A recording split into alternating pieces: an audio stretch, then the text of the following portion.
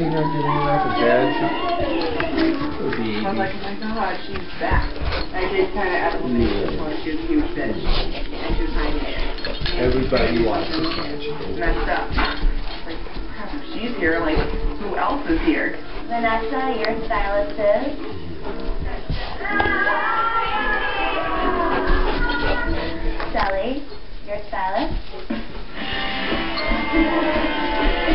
Get ready. Lauren, here's your stylist.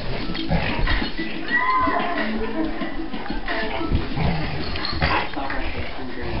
Like, I was like, look at her. Like, she was really, really nervous. And, you know, as she And last but not least, Corey. the whole time I'm home, all I can hear in my head is, I'm going to be laughing if I get you because you're up for elimination. Hello, stylist.